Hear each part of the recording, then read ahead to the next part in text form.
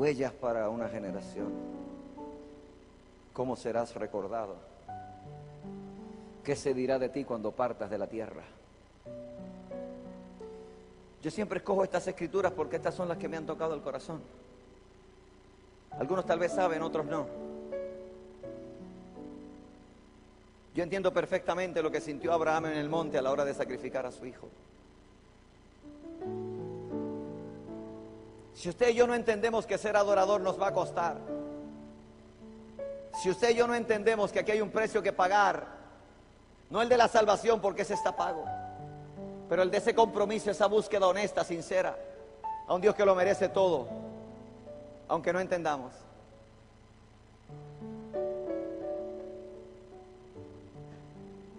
En el año 95, mi hija menor de 16 años, llamada Jehová existe, Shesia es su nombre, por andar medio rebelde con el Señor se fue de la casa. Se empató con un novio apartado del Señor. Habiéndose ido de la casa, yo ni siquiera sabía dónde andaba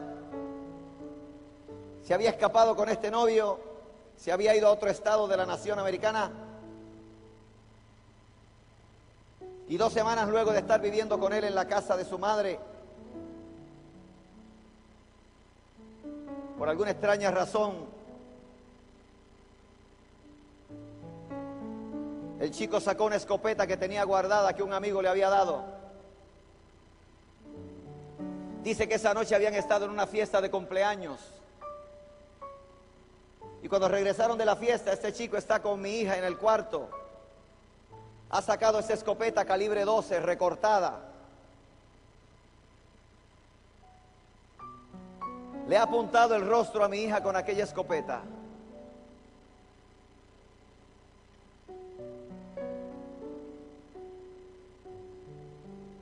Y aló el gatillo. Y el estallido de aquella explosión, ¡pum! Destruyó el rostro de mi hija.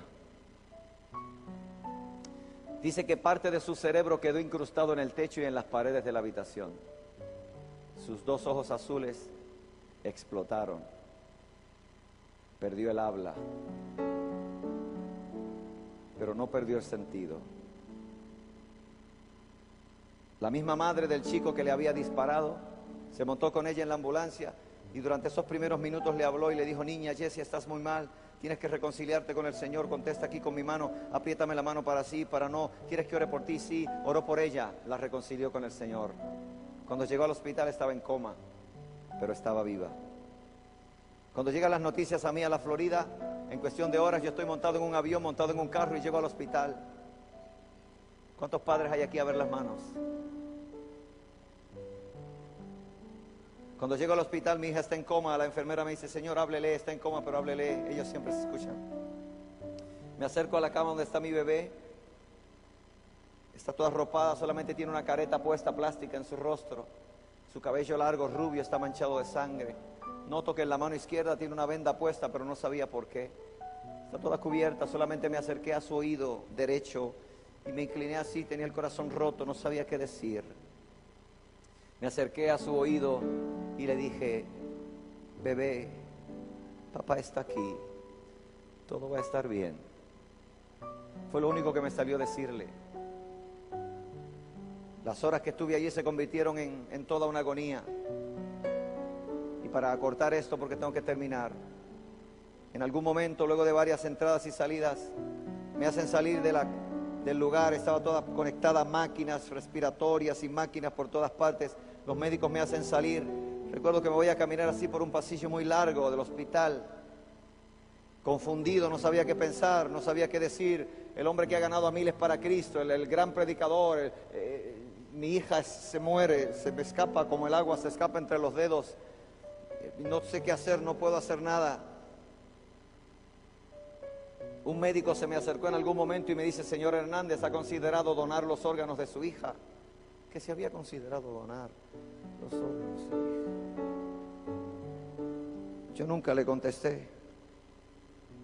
Ahí me voy a caminar por el pasillo y en algún momento Dios me habla y me detiene en el pasillo y me dice, como siempre me habla cuando me quiere intimar, me dice, hijo, dice, hijo, y yo me detengo, sé que Dios me quiere hablar. Habla mi corazón Dios y me dice, la he recibido en mi regazo.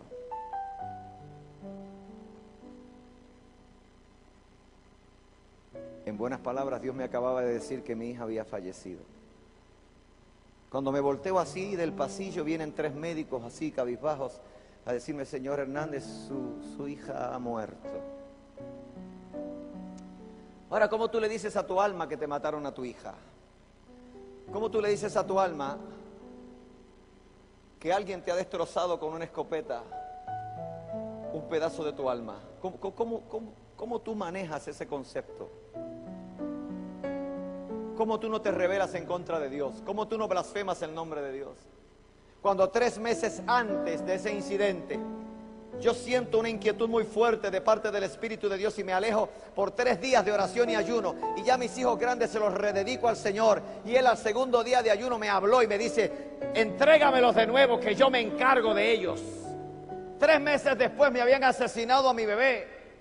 ¿Cómo le decía yo a mi alma que no se rebelara? ¿Cómo le decía yo a mi alma que no blasfemara el nombre de Dios? ¿Cómo le decía yo a Dios, ¿dónde estabas tú? ¿Dónde estaban tus ángeles cuando aquel idiota estaba a punto de alar aquel gatillo? Mi bebé había muerto, hermanos.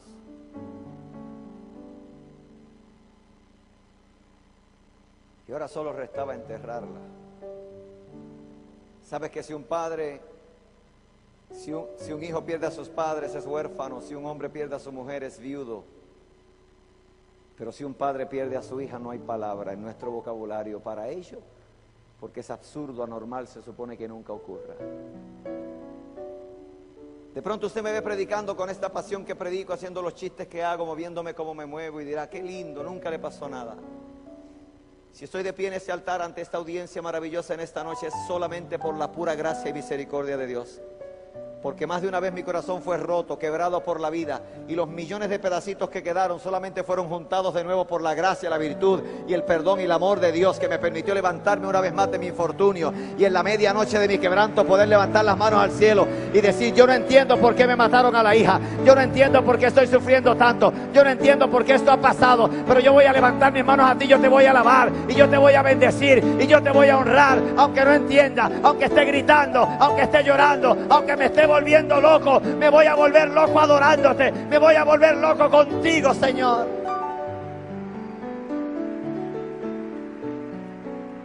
Ser adorador te va a costar. Yo lo sé por experiencia propia. A la hora de enterrar a mi bebé, canté alabanzas al Señor, prediqué en la funeraria. Veinte chicos se convirtieron a Cristo. En, el momento en que se la llevaban para meterla en el lugar, en el panteón allá donde iban a estar sus restos. No quise que nadie estuviera conmigo, me fui solo para mirarla. Allá la llevaban en un ataúd que yo había comprado. Quise comprarle un auto para que fuera a estudiar, pero no pude comprarle un auto, tuve que comprarle un ataúd. Quise comprarle su vestido blanco de novias para casarla, tuve que comprarle un vestido para enterrarla. Yo sé cuánto cuesta adorar a Dios. Y estando así no quise que nadie se me acercara, ni mi esposa, nadie, ahí la llevaban. Y recuerdo que crucé así mis brazos, todavía confundido, todavía roto, todavía muerto por dentro. Y yo decía, no puede ser, no puede. No puede ser, esto no puede estar pasando, esto tiene que ser. Tiene que ser una pesadilla horrenda. Yo voy a despertar, yo voy a despertar, yo voy a despertar ya mismo. Yo voy a despertar y voy a estar en casa y todo va a estar bien. Y, la bebé va a estar viva y todo esto será una horrenda pesadilla. Yo la miraba y se la llevaban.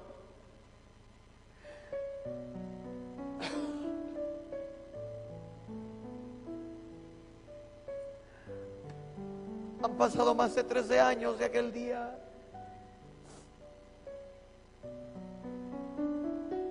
Recuerdo que estaba así, no sabía qué decir, no sabía qué hacer. Y sentí los brazos de mi padre como me abrazaron, así me abrazaron fuerte. Y Dios habló a mi corazón. Y lo maravilloso es que Dios me dijo, ¿dónde estoy? ¿Qué tiempo me queda? Tres, cuatro minutos. Dios me abraza y habló a mi corazón y me dice, me dice, hijo, papá está aquí y todo va a estar bien. Entonces yo levanté mis manos y adoré al Dios de mi juventud, al Dios que había conocido cuando tenía 18 años en San Juan, Puerto Rico. Aquella noche cuando el evangelista Nicky Cruz predicó el Evangelio y este joven de 18 años corrió al altar de Dios. Levanté mis manos y bendije al Dios de la creación. Y le prometí mi alabanza y mi adoración serán tuyas para siempre. Y lo que ahora no entiendo, algún día lo entenderé.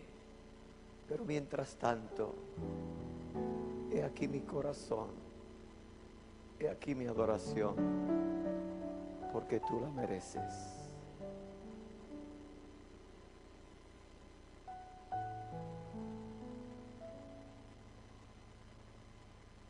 Yo no sé para quién es esta palabra en esta noche. Pero alguien Dios le está diciendo, papá está aquí, todo va a estar bien. Puedes convertirte en un adorador en esta noche declarar tu victoria sobre las circunstancias de la vida.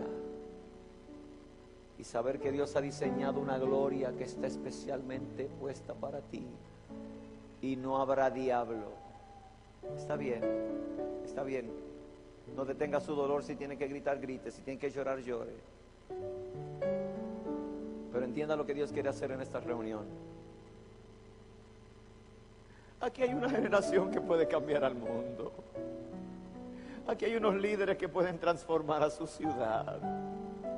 Aquí hay chicos que mañana serán padres, serán abuelos y que tienen que entender que aunque la vida a veces nos sorprende con cosas terribles, el Dios nuestro está por encima de todas las cosas.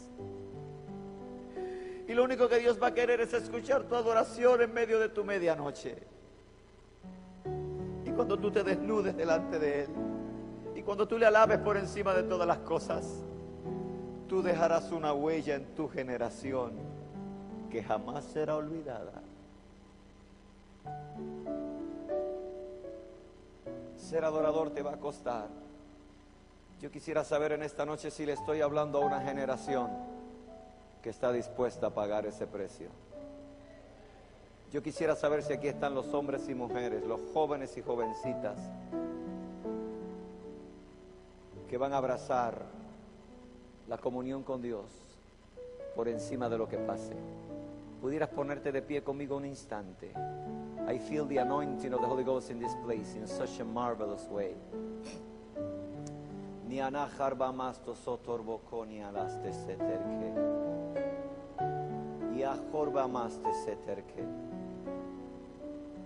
¿Cuántos quieren dejar huellas? Míreme acá. ¿Cuántos quieren dejar huellas que otros sigan? There's a price to be paid. Hay un precio que debe ser pagado. Nadie me tenga lástima o pena si me ve llorando. Yo estoy bien. De pronto siempre que cuento algo del testimonio, cuando usted sea padre, usted va a entender. Pero Dios me sanó. Si yo no estuviera sano, de hecho yo estoy aquí porque Dios me sanó. Si no me hubiera sanado, yo hubiera matado a ese chico y estuviera preso. Dios me llevó a perdonarlo, a dejarlo libre en mi corazón y a continuar con mi ministerio y con mi carrera. Miles, miles en las naciones que Dios me ha llevado se han convertido a Cristo oyendo ese testimonio.